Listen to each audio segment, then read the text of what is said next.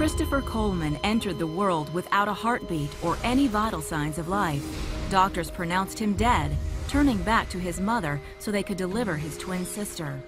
When she cried, Christopher cried, and they discovered that he was indeed very much alive. They told my mom I was at least 15 minutes without any oxygen to my brain. And as a result, I will never move, never walk, never talk. They tell my mom to take me, put me in an institution and forget that I was even born. My mom not only was a believer, but she believed that God had a plan for my life. Without the ability to communicate, Christopher spent a good deal of his childhood feeling trapped in his own body. In school, no one made any attempt to teach him. So at night, he sneaked away with his sister's books and taught himself to read. Eventually, he tested above grade level and went on to graduate from high school with honors. But I went to church my life, but I didn't come to know Christ until I was 19 years old. It was then that I found myself reflecting back on my life and realizing that my life would be challenging. And I really wanted to make it, I needed to know Christ. And I, I went to my mom and she, I asked her one day, how did you do it? How did you raise seven kids on your own? And she said, I didn't. It was Jesus. And that when I knew I needed him in my life. Well, going into college, I'm at LSU, everything is great.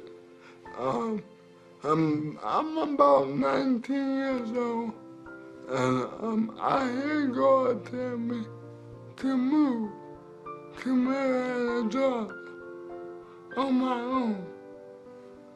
And I'm like, you want me to do what? He's like, move to Marietta, job on, on your own.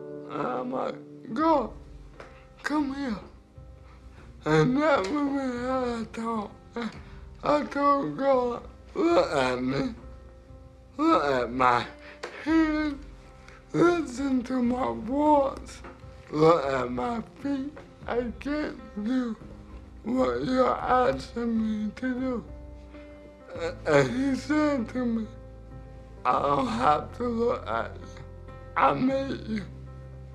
I made your hand, I made your feet. I made your voice. Uh, and in that conversation that I really believe all my life God been speaking to me. I didn't never really recognize it until that moment that God been walking beside me all these years. I got a letter from Southern Polytechnic State University. And I was like, okay, I'm going to Georgia. So, graduated from math, the only college graduate in my whole family. Um, I grad, graduated with a communication degree, but by no means did I think I would be doing what I'm doing now with that degree.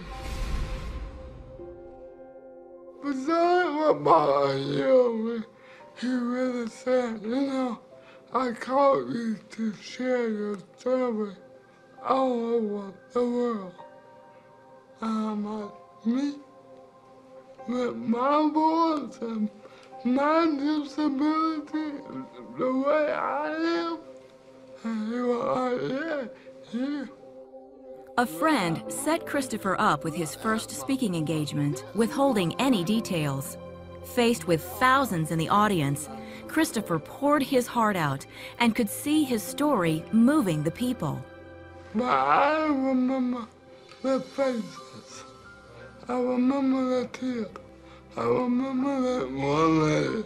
She came in the room depressed. You can see it on her face. But when she left, it was like a whole new person.